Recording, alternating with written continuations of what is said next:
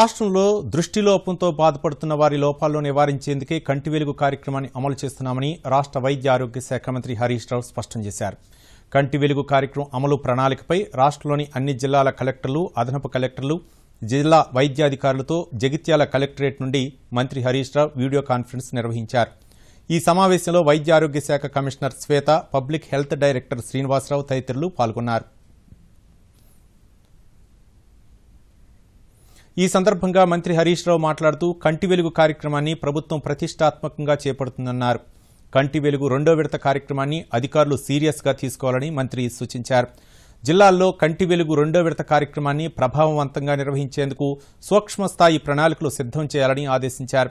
జనవరి పద్దెనిమిదిన రాష్ట్ర ప్రభుత్వం కంటి వెలుగు రెండో విడత కార్యక్రమాన్ని ప్రారంభిస్తుందని మంత్రి హరీష్ రావు చెప్పారు.